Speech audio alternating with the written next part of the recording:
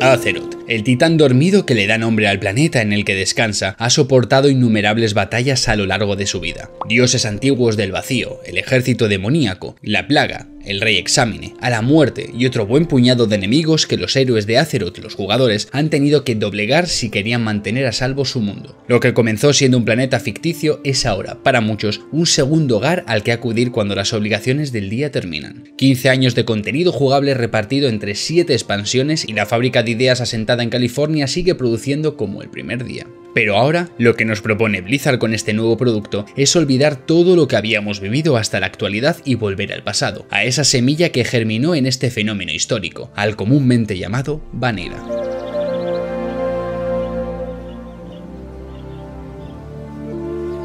World of Warcraft Classic es un homenaje a sus 15 años de vida, un producto que el pueblo llevaba pidiendo desde hace un lustro, pero que la empresa californiana se cerraba en banda en ofrecer. Es la vuelta a aquellos recuerdos que nuestro cerebro se resigna a borrar, incluso ahora que la mayoría de los que jugamos al original somos padres de familia. Una celebración por todo lo alto en la que se quiere demostrar que un videojuego como este puede seguir validando más de una década después. Olvidaros de equipar reliquias a vuestros personajes para subir más rápido, de la función de buscar grupo, de las ayudas visuales para las misiones, de subir puntos de profesión de 5 en 5, de galopar sobre vuestra montura nivel 20 y de prácticamente todas las ayudas que podéis encontrar en Battle of Azeroth. Blizzard ha hecho uso de la ingeniería inversa para meter toda la base de datos del videojuego base, así como el material gráfico en el cliente de World of Warcraft Legion, haciendo que este sea prácticamente igual al original. Datos que por cierto proceden del parche 1.12 de nombre Drums of War. Esto significa que la propuesta de Classic no es tal, sino que se basa en la última actualización que recibió el juego antes del lanzamiento de la expansión de Burning Crusade.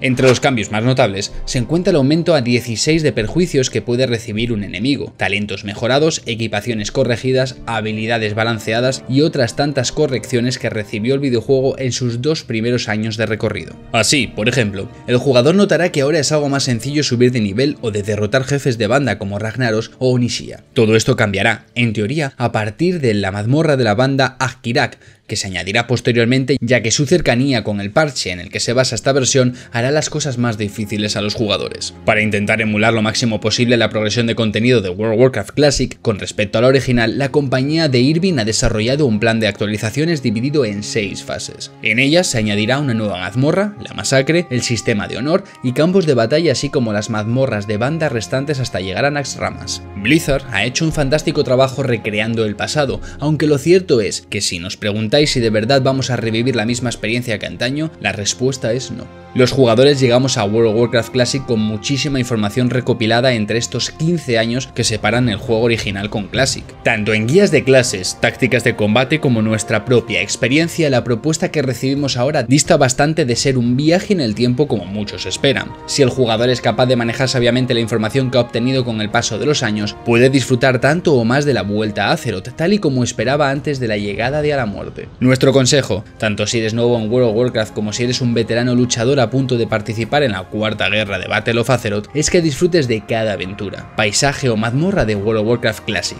Se trata de una oportunidad única para volver a revivir toda una leyenda en el género de los MMORPG tal y como se concibió en su día. Jurad lealtad hacia vuestro bando favorito, levantad vuestras armas hacia las dos lunas de Azeroth y proclamad sin miedo hacia quién servís, defenderás a la temida horda o a la noble alianza.